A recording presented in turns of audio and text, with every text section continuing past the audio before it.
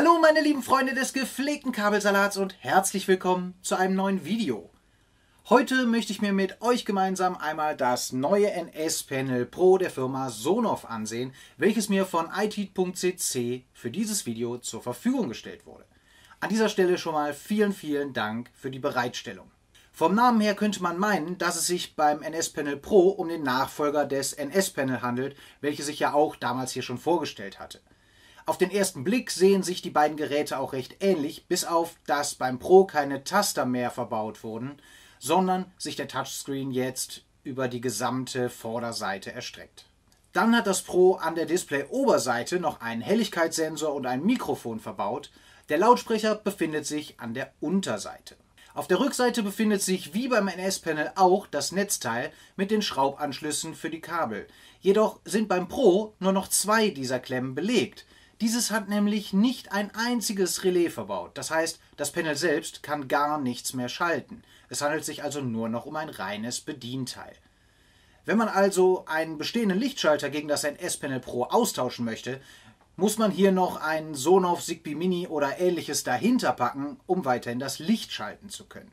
Und dafür braucht man dann schon mindestens eine tiefe Unterputzdose, wenn die dann überhaupt noch ausreicht. Ich denke also, wenn überhaupt, ist die Pro-Variante also besser in dem Gehäuse, so wie ihr es hier auch seht, zu gebrauchen. So kann man es dann auch flexibel positionieren und einfach auf den Schrank oder Tisch stellen. Wenn man sich aber doch für die Variante mit dem Zigbee Mini hinter dem NS Panel Pro entscheiden sollte, lässt sich dieser dann immerhin auch direkt mit dem Panel verbinden, denn das NS Panel Pro hat direkt einen Zigbee 3.0 Hub integriert. Das heißt, man kann sämtliche Zigbee-Geräte bequem direkt an das Panel anbinden und anschließend auch darüber steuern. Einstellen lässt sich einiges schon über das Panel selbst in den Einstellungen. An diese gelangt man, wenn man einfach mal vom oberen Bildschirmrand herunterwischt. Den vollen Funktionsumfang erhält man allerdings eigentlich erst über die EW-Link-App, also über die Cloud. Im Auslieferungszustand war die Bedienung des Touchscreens sehr, sehr träge und reagierte auch nicht immer. Nach dem Update auf die aktuelle App-Version 1.4.1 und die OS-Version 1.4.0 läuft aber bisher alles relativ flüssig. Aber schauen wir uns das Ganze jetzt einmal genauer an. Wenn das Panel das erste Mal eingeschaltet bzw. mit Strom versorgt wird, müssen wir zuerst die Grundeinrichtung vornehmen. Das heißt zuerst einmal die Sprache und das Land auswählen. Anschließend folgt die WLAN-Einrichtung. Das Passwort bestätigt man dann mit einem Klick auf Quellcode, was auch immer hier bei der Übersetzung schiefgelaufen ist. Anschließend landet man direkt auf dem Startbildschirm, der von einem Hinweis überdeckt wird, dass man weitere Funktionen durch Wischen nach unten erreichen kann. Mit diesem Wisch landet man dann auch direkt in den Einstellungen.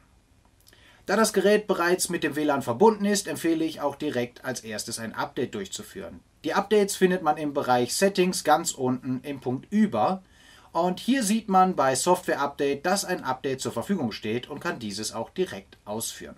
Als nächstes kann man in den Einstellungen dann noch die Zeitzone festlegen, damit das Display auch die richtige Uhrzeit anzeigt, sowie unter Wetter die passende Stadt auswählen, damit ebenfalls die richtigen Wetterinformationen auf dem Startbildschirm zu sehen sind. Im Punkt Anzeige lässt sich dann noch die Helligkeit festlegen, man kann hier aber auch direkt automatisch auswählen, um das Display anhand des Umgebungslichtes die Beleuchtung selber regeln zu lassen. Dann gibt es noch Einstellungen für Sprache und Lautstärke und das war es an sich schon. Wenn man jetzt noch einmal zurück ins Menü wechselt, sieht man hier sechs Punkte. Gerät hinzufügen, Hinweis, Alarm, Theme, Add Cam und Settings. Jedoch sind erst einmal nur Alarm und Theme nutzbar. Unter Alarm lässt sich ein Wecker für eine bestimmte Uhrzeit oder auch einen Timer aktivieren. Im Menüpunkt Theme kann man einen von acht Hintergründen auswählen. Ja, und das war es auch schon. Für alle weiteren Funktionen benötigt man, wie eben schon erwähnt, die EW-Link App, also ein Konto für die Cloud. Ansonsten hat man nur eine teure Uhr mit Wetteranzeige ohne weitere Funktion. Um jetzt auch das Panel mit der App zu verbinden, wird man unter allen weiteren Punkten im Menü sehr bequem angeleitet, wie man vorgehen muss. Alternativ befindet sich auch auf der Startseite ein Button Anmelden, um die Verbindung mit der App herzustellen. Es erscheint dann ein QR-Code auf dem Display, den man über die EW-Link-App scannen muss. Dazu klickt man in der EW-Link-App unten auf das Plus, um ein Gerät hinzuzufügen und wählt anschließend Scan QR-Code aus und bewegt anschließend die Smartphone-Kamera so über das Display, dass diese den QR-Code im angezeigten Rahmen erfasst. Damit wird das Panel automatisch verknüpft und man kann ihm jetzt in der App einen Namen geben und es einem Raum zuweisen. Ja, und damit sind jetzt eigentlich schon alle Funktionen freigeschaltet, beziehungsweise kann man, glaube ich, durch ein kostenpflichtiges Abo noch mehr freischalten, aber darauf gehe ich jetzt nicht weiter ein. Für alle, die an der Cloud interessiert sind, verlinke ich aber einmal die Infos zur Evelink Cloud in der Videobeschreibung. Wie eben schon erwähnt, besitzt das NS Panel Pro einen integrierten Zigbee 3.0 Hub. Wenn man jetzt ein neues Gerät anbinden möchte, muss man nur in den Einstellungen des Panels auf Gerät hinzufügen klicken, anschließend die Gerätesuche mit einem Klick auf Starten Sie die Kopplung ausführen. Dann kann man innerhalb der 180 Sekunden Suchlauf die Geräte, die man hinzufügen möchte, in den Pairing-Modus versetzen und muss nur noch warten, bis sie erkannt wurden. Ich füge jetzt einfach mal einen Bewegungsmelder und einen Zigbee Mini hinzu. Sobald Geräte alle erkannt wurden, kann man die Suche mit einem Klick auf Fertig beenden und hat die neuen Geräte dann auch sofort in der Oberfläche. Ich kann jetzt hier direkt den Zigbee Mini schalten und sehe mit einem Klick auf den Bewegungsmelder auch den zuletzt erkannten Zustand. Zusätzlich zu Zigbee-Geräten unterstützt das Panel auch noch Kameras. Ich hätte jetzt erwartet, dass hier wieder nur Cloud-Geräte des Herstellers unterstützt werden. Ich weiß gar nicht, gibt es die überhaupt? Egal, aber hier wurde ich auf jeden Fall sehr positiv überrascht. Und zwar lassen sich hier sogar RTSP-Kameras und MJPEG-Streams, wie zum Beispiel der von einer ESP32-Cam einbinden. Auch die habe ich hier auf dem Kanal ja schon mal vorgestellt. Das Video dazu verlinke ich euch mal oben in der Infobox. Ich füge jetzt hier einmal meine Reolink vom Hauseingang und eine ESP32 Cam, die hier im Hobbyraum gerade rumliegt, ein. Bei beiden Kameraarten muss man einfach nur die URL zum Stream angeben, kann der Kamera einen Namen geben und ist auch schon fertig. Danach erscheint auf der Startseite ein Button Kamera, über den man dann direkt zum Livestream der Kameras wechseln kann. Das gefällt mir, muss ich gestehen, wirklich gut und funktioniert bisher auch reibungslos. Der RTSP-Stream braucht zwar einen Moment, aber das finde ich noch akzeptabel. Was für mich aber der Hauptgrund war, weshalb ich das Panel zum Testen sehr gerne von IT.cc angenommen habe, dass auf der Homepage angepriesen wurde, dass es mit Home Assistant kompatibel ist. Da ich mir vorstellen kann, dass ein Großteil von euch das genauso interessiert wie mich, schauen wir uns das jetzt natürlich auch noch an. Die englische Anleitung dazu verlinke ich euch gerne auch noch einmal unten in der Videobeschreibung. Als erstes wechseln wir dazu jetzt mal ins Home Assistant und gehen dort in die Einstellungen Add-ons. Hier wählen wir jetzt unten den Add-on Store und müssen hier zuerst das EW-Link Repository hinzufügen. Jetzt sollte in der Add-on Store Übersicht auch ein neues Add-on EW-Link Smart Home auftauchen. Das wähle ich aus und installiere es. Sobald die Installation fertig ist, aktiviere ich noch alle vier Optionen, also Start bei Boot, Watchdog, automatische Updates und den Punkt in der Seitenleiste anzeigen. Anschließend wähle ich im Menü den neuen Eintrag EW-Link Smart Home aus und melde mich über den Button Sign In oben mit meinem EW-Link-Account an. Daraufhin erscheinen auch sofort die in der EW-Link-App hinterlegten Geräte in der Übersicht. Für alle Schalter und Lampen werden auch im Hintergrund jetzt Entitäten angelegt, sodass diese ebenfalls über Home Assistant geschaltet werden können. Wenn man jetzt oben auf Sync Home Assistant Devices wechselt, dauert es einen Moment und dann werden einem alle kompatiblen Entitäten aufgelistet. Diese kann man jetzt einzeln mit einem Klick auf Sync an die EW-Link App freigeben. Was hier sehr lästig ist, ist die richtige Entität auch zu finden. Hier fehlt mindestens mal eine Suche oder wenigstens mal eine Sortierfunktion. Aber da sich das Ganze noch in der Beta befindet, warten wir hier einfach mal ab, was da in Zukunft noch so kommt. Ich aktiviere jetzt einfach mal als Beispiel bei zwei Lampen die Synchronisierung. Auf dem Display in der Gerätübersicht sind jetzt aber noch keine Lampen zu sehen. Wenn man hingegen in die EW-Link-App schaut, werden hier die Lampen bereits aufgelistet. Wir müssen sie jetzt nur noch dem NS-Panel Pro zuweisen. Dazu wählt man in der App das Panel aus, klickt hier auf Gerät und hier werden jetzt alle zugewiesenen Geräte aufgelistet.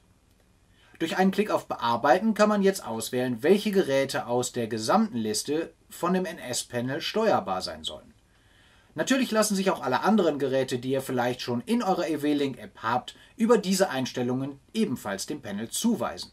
Das gilt also nicht nur für die Geräte aus Home Assistant. Alle Geräte, die lokal über den Zigbee-Hub an das Panel angebunden sind, werden hier ebenfalls aufgelistet. Diese lassen sich aber natürlich nicht abwählen, sondern sind immer über das Panel steuerbar. Nach Speichern erscheinen die ausgewählten Geräte auch sofort auf der Geräteseite des Panels und lassen sich darüber bedienen.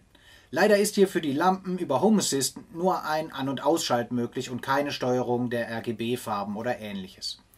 RGB-Lampen, die direkt über den Zigbee-Hub angebunden sind, könnt ihr aber natürlich auch in der Farbe und Helligkeit über das Panel anpassen. Ich hoffe jedenfalls, dass hier schnellstmöglich nachgelegt wird und neben der Farbwahl auch Geräte wie Heizung, Jalousien und was es sonst noch so gibt, bald von dem EW-Link Home Assistant Add-on unterstützt werden. Ja, so bekommt ihr auf jeden Fall eure Geräte aus Home Assistant auf das NS-Panel und die Zigbee-Geräte des Panels auch in Home Assistant. Und das war es dann soweit, glaube ich, auch an wichtigen Features, die ich euch zeigen kann. Es lassen sich noch Thermostate anbinden und über das Panel steuern, jedoch habe ich leider keine Zigbee-Thermostate, mit denen ich das jetzt hätte testen oder zeigen können. Ich blende euch aber hier zumindest mal noch ein Bild ein, wie das Ganze auf dem Panel aussehen könnte. Dann gibt es noch eine Art Energy Board, auf der die Stromverbräuche angezeigt werden können. Auch dazu zeige ich an dieser Stelle einfach mal eine Grafik, wie das aussehen würde, wenn man entsprechende Geräte am Panel angebunden hat. Aber kommen wir jetzt mal zu meinem Fazit. Ich muss sagen, ich hätte es viel besser gefunden, wenn sie auch im Pro wieder mindestens ein Relais mit verbaut hätten, dass man es auch als Lichtschalter verwenden kann. Die Features, um das Ganze an Home Assistant anzubinden, gehen zwar so langsam in die richtige Richtung, aber so wirklich überzeugen kann es mich trotzdem noch nicht.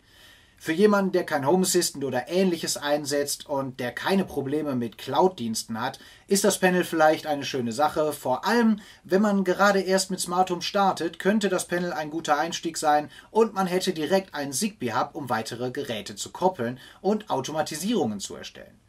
Was mir wirklich sehr gut gefallen hat, war die Anbindung der Kameras, aber grundsätzlich werde ich wohl auch in Zukunft eher beim alten NS-Panel bleiben. Ich persönlich mag halt auch wirklich die Hardware-Taster unter dem Touchscreen sehr. Gerade im Vorbeigehen finde ich ein Touchscreen einfach nur lästig zu bedienen und bin dann doch immer froh, wenn es noch echte Tasten gibt, die man auch einfach mal blind bedienen kann.